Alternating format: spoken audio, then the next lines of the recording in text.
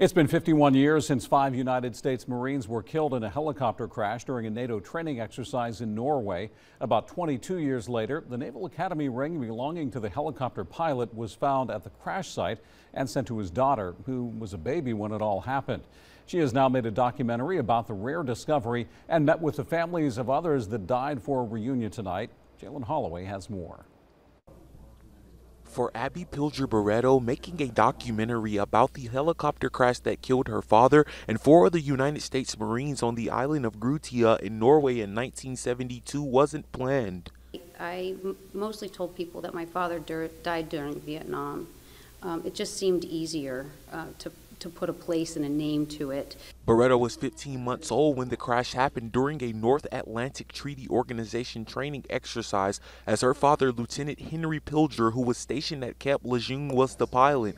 Marine Sergeant Rocky Shaw says he and another sergeant were waiting for a helicopter to pick them up on that same day in Norway, but says it never came. All those years, I thought that helicopter was the one supposed to pick us up. Now, I can't ever prove that. 22 years after her father's death, Barreto says she had a special package waiting for her one day. I asked my mom what this is, and she says, That's your father's Naval Academy ring. It arrived for you today. Barreto says a hunter found it at the crash site between two rocks.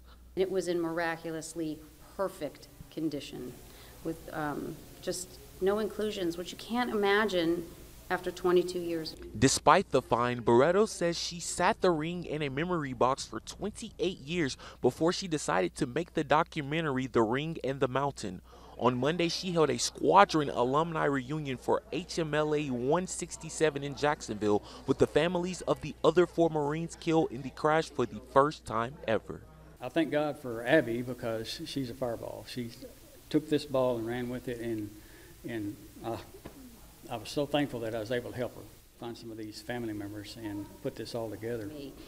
You know, for us, none of us knew what happened to our loved one for 50 years. This was a lost story, it was a lost piece of history, um, but it is no longer. Reporting in Jacksonville, Jalen Holloway, WITN News.